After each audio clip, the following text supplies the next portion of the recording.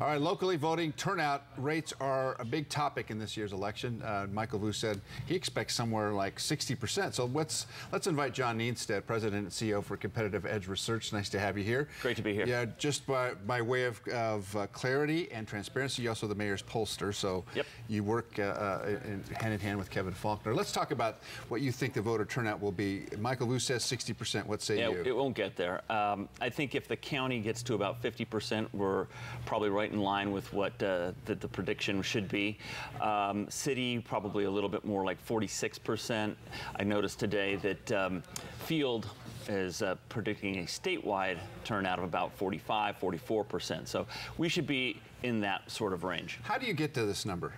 You look at early returns mm -hmm. of the ballots, oh, okay. in which we get those, and um, of course we don't know who voted, but we can know uh, whether they voted, mm -hmm. and uh, those uh, early ba ballots kind of dictate where the election is going.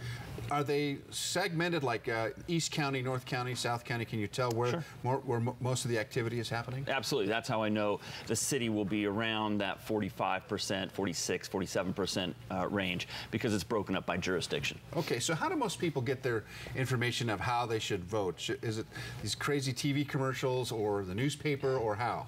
Well, there's a lot of different ways. And so when we do tracking polling, which we currently are doing, mm -hmm. we'll, we're looking at all those various ways that they get messages. We think it in terms of, of, of it in terms of messages, uh, voter mm-hmm. messages.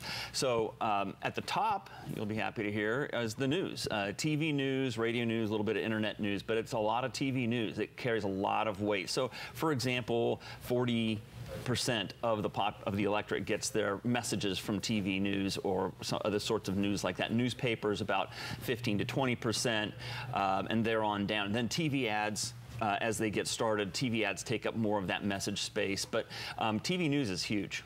I'm glad to hear that, but that does conflict with what some of the people who follow Bernie Sanders. The millennials, those young people, are very much tied to their mobile phones. Uh, is that becoming a component now that's important?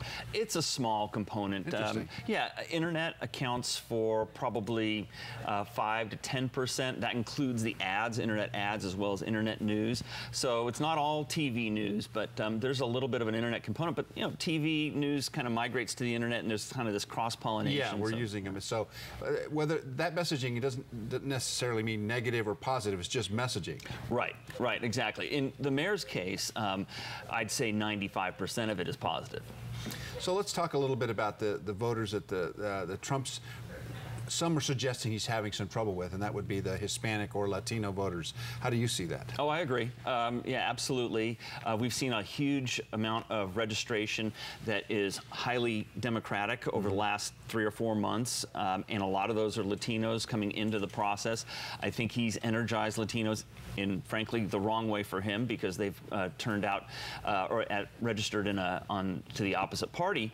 So I think, uh, yeah, there has been that effect, and uh, we'll see how it plays out in November, but currently there's been a, a big kind of upswell amongst Latinos in their registration. How do you see the the, uh, the mayor's race shaking out? That he, uh, Mayor Faulconer needs 50 plus one.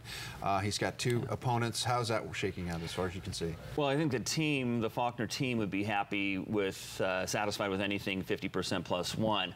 I think the data that I'm looking at, the data that I have, indicates it'll be a beatdown. Oh, really? Yeah. Oh, interesting. All right. So uh, that's those are the numbers. Those are the hardcore numbers. Uh, the question is whether or not all of you, the pollsters and the people who, who, count this, will be wrong because it seems like the electorate is very energized. This is this has been quite a campaign. It's an interesting campaign from all sorts of aspects, and it's a big presidential race. So. Michael Vu could be wrong also that it may be higher than 60%. Have you ever seen it go that high? No and I don't think it will. you don't think it will? No, I think it'll be It's good to have an expert here instead of a newscaster trying to, to hyperbole it. Okay, thanks so much. Nice to have you here. Thank you, Carlos. Uh, we continue.